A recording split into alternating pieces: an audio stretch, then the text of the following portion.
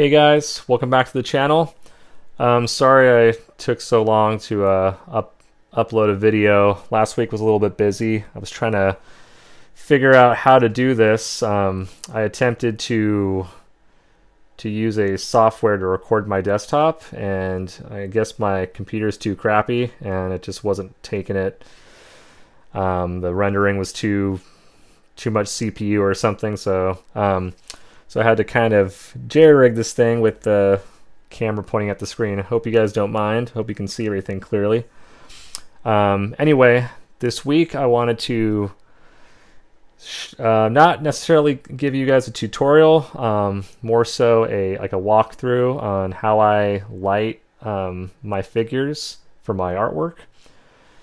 Um, there are no hidden tricks um, with this. It is mainly light sets that I purchased from the Daz website.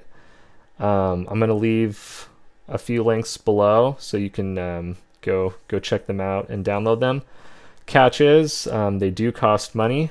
They're not free, so that's something to think about. Um, but I've been using the same light sets for two to three years now, and uh, I've yet to use anything new. So for me, it's money well spent. Um, but anyway, so so what I like to kind of start off with is um, I I already created a camera for this particular one, but um, the camera actually has a default uh, headlamp. See right now it's it's kind of on, and so I can turn that off. Um, you know, some people leave it on, some people leave it off. I like to leave it on just so I can kind of see what I'm doing. Um, but you know, when you start adding different lights to the scene, um, sometimes the the headlamp um, kind of interferes with that, or kind of adds a unnecessary light that you may not want.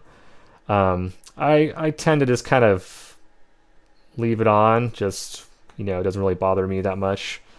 Um, but but yeah, so so right now I'm going to go to the the viewport, um, and I and I have the viewport set to um, the NVIDIA Iray setting. So basically, it'll show you how the render will will look um, with all the textures and everything. So um, you can just kind of get a taste, you know, while you know changing the angles, changing the lighting.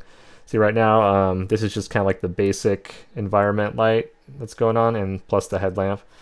Um, but I'm going to show you um, a few light sets. Um, first one that I, that I use quite a bit is the uh, male Iray lights.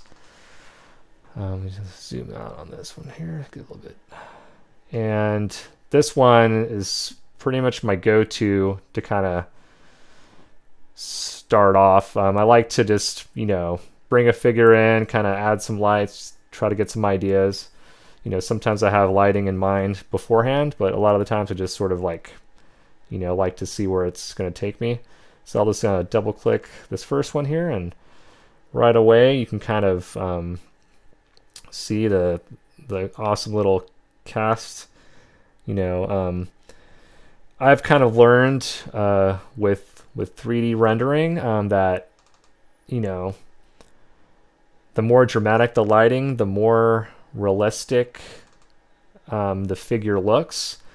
And I know that they they use this technique in like you know movies that um, that sometimes they don't have like the best quality renders, but uh, the lighting makes makes it look a lot better. And in this case, you know, Daz has some pretty realistic looking stuff, but it's not quite at that level of like photo realistic. So what I like to do to kind of trick the viewer's eye, um, I like to just kind of add a lot of crazy, just like shadowy lighting. It, it kind of hides some of that uncanny valley look that I absolutely hate with uh, 3D renders. Um, but yeah, see, as you can see right here, like, you know, automatically, I mean, it just changes the uh, feel of the image. I mean, and I mean you can see how many options you have here um, and I just kind of you know see which one I like the best oops what was that okay like this one's kind of one of my favorites because it has that like nice little that nice little rim light around the edge of the face. Um, but yeah you know even when you apply these lights you can move the lights around um, manually too. So you can kind of uh, really really adjust stuff to your liking. And I mean it's it's pretty addictive. It's like I mean there's so many options like almost too many options sometimes. Um, and then I'm gonna let you guys know on another thing that I use uh, HDRIs it's basically like an environment mapping um, it's not quite lights, but it it kind of surrounds the image like in a 360 kind of space.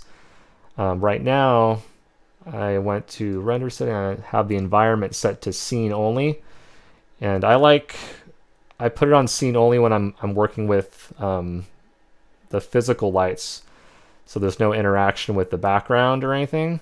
It kind of uh, shuts everything off, and it just kind of makes you focus on the lighting itself, but if you want the um, HDRIs to show up, you have to go to dome only. And then I'm gonna go to preview, see what that, see notice how there's kind of this, uh, this sort of like overall environment lighting kind of, you know, lighting up the whole figure.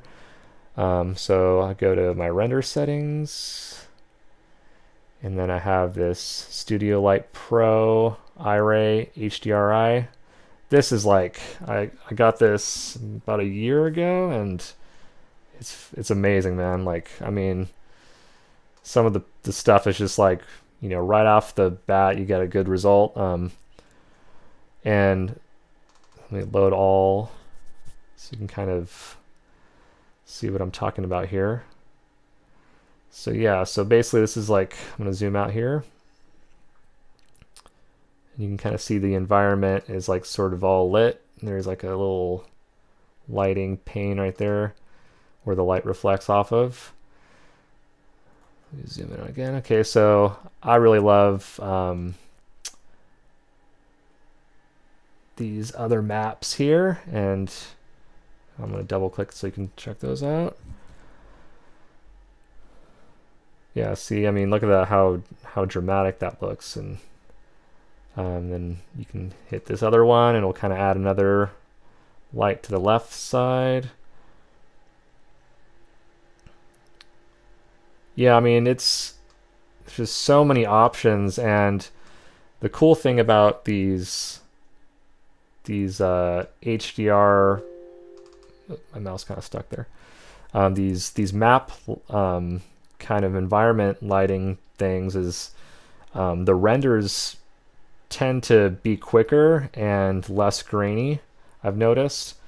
Um, sometimes if you use too many lights um, and if they're not like set up properly, you get that graininess um, that's just really annoying. Um, so so this is a, a, real quick and easy way just to kind of avoid that. And I mean, look at that face.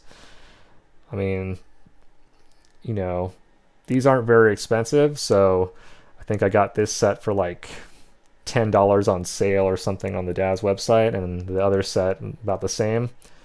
Um, so, you know, it's if you're like you know like me, you don't like to mess around with a lot of settings, and you just kind of want to get in there and start rendering some stuff. Um, I I really recommend just buying some light sets and some HDR maps.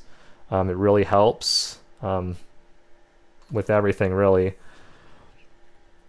I mean, you can you can pretty much you can also like kind of rotate um, the figure to kind of you know get different like have the light hit in different areas like so I can like kind of rotate it here and then I'll sort of rotate it back there and you can kind of see okay I can kind of you know so you can just experiment all day if you want I mean I spent like I said before on my other previous videos, I spent hours just just rendering stuff. I mean, just to get kind of ideas and um, it's like the possibilities are endless.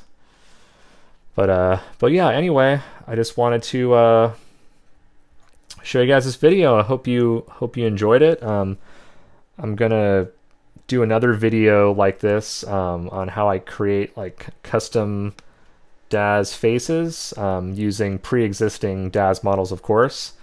Um, real easy and uh, yeah. So um, hope you guys enjoy it. Make sure to subscribe and I'll, I'll see you next time.